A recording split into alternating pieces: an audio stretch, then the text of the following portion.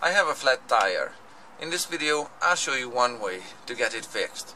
The proper way to get it fixed is to have a mushroom patch applied on the inside of the tire.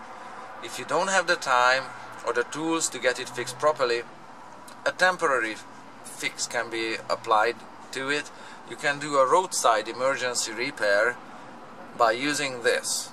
I'll show you how this works and we'll do it by the book. These are the manufacturer's instructions that do not come printed on the can. So you have to have the two together. The instructions are not on the can. These are the instructions. So, this product is an expanding latex foam that's pressurized inside this can. This latex foam should be filled inside the tire where it spreads out and as it expands and spreads it finds and fills every nook and cranny, including the one that deflated the tire in the first place. Well, that's the theory. Don't you love products that live up to uh, the manufacturer's claims? This one does. They modestly claim that you can confidently drive several hundred kilometers before repairing the tire in the traditional way.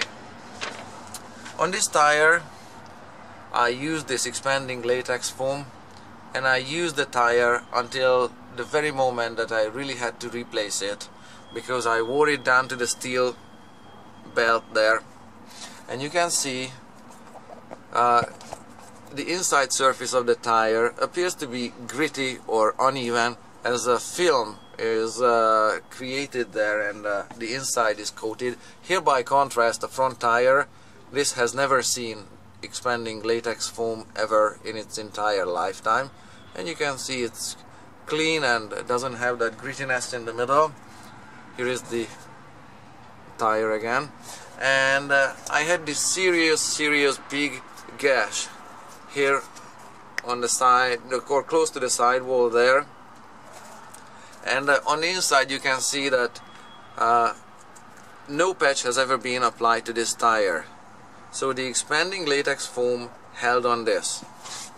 It held for 5,800 kilometers. So they say several hundred kilometers. For me it lasted 5,800 kilometers. Now, please don't compromise your safety by wearing the tire down to the steel belt. Don't compromise the safety of other road users either and don't do this at home. This was an experiment done in a way experiments are done. Now, how to use the product. Step 1. Remove the foreign object from the tire. So if it's got a nail or a screw or whatever deflated it, take it out. Step 2.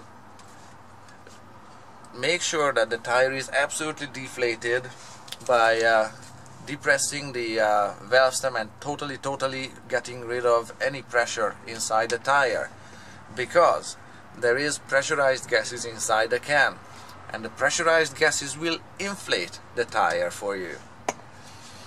If there is pressure in the first place inside the tire to begin with, the added pressure from the can that's transferred might burst your tire and if they do you will not be a happy camper so remove the foreign object from the tire and totally deflate it then at the end of this hose here you can see there is a thread there. I don't know how to get a good angle on it. Yeah something like that.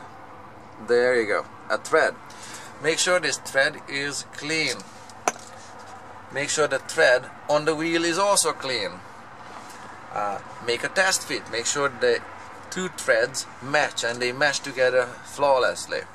When you're done that and if it's cold in the winter heat up the can by either your hand or take it inside for an hour or something or heat it under your arm. Whatever you do heat it up to room temperature.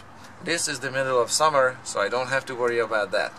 Then you have to shake up the inside of it for several minutes. Now you don't want to watch me do that so we'll skip it but you have to shake it up for several minutes. When you're done uh, connect the hose to the valve stem. Rotate the valve stem up until it's vertical and upside down here and the can is connected to it. When it's done, just press the big red button at the end of the can and wait until all the foam comes out and transfers to the inside of the tire through the hose. You can see the foam bubbling through the hose. When uh, the pressure equalizes out between the can and the tire and there is no more foam transfer, disconnect the hose from the tire and start up the bike and get ready to ride because you have to uh, spin the wheel for about 10-20 minutes. You have to ride a bike at moderate speeds to distribute the latex foam evenly everywhere to make sure it does find every nook and cranny including the hole that deflated the tire in the first place. Okay? So get ready to ride the bike for 10-20 minutes at moderate speeds that's how to use the product and uh, you take care